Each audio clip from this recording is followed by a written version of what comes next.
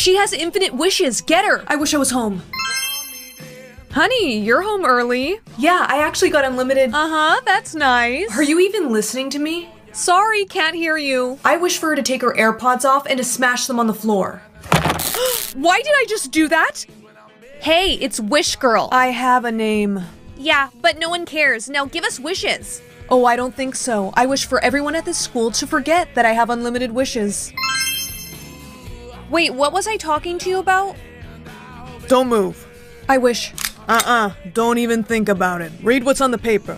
I am not reading this. Read it or things are gonna get ugly. I wish to become a genie. Great. Now come with me.